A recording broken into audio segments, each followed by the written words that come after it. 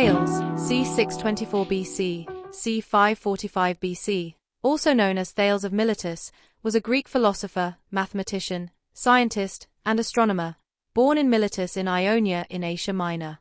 His contribution is very difficult to assess, since no writings by Thales survive and no contemporary sources exist.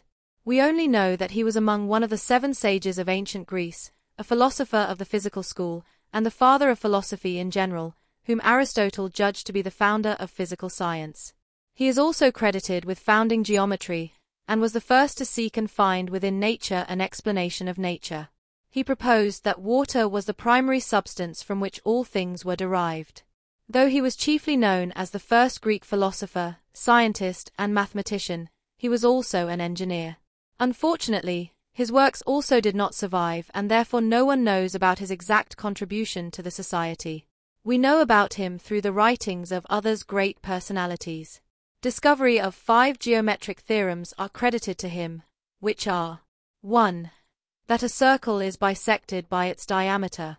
2 that angles in a triangle opposite two sides of equal length are equal. 3. That opposite angles formed by intersecting straight lines are equal. 4. That the angle inscribed inside a semicircle is a right angle, and 5. That a triangle is determined if its base and the two angles at the base are given. Aristotle said that Thales was the first to suggest a single material substratum for the universe, namely, water or moisture. Many sayings attributed to him are also considered not authentic such as know thyself and nothing in excess. Nevertheless, we have selected some from authentic and reliable sources. Wisdom and quotes.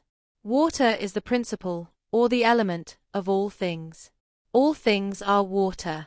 Quoted in Plutarch, Placita Philosophorum. The principle of all things is water, he says, and also that all comes from water, and to water all returns. All things are full of gods.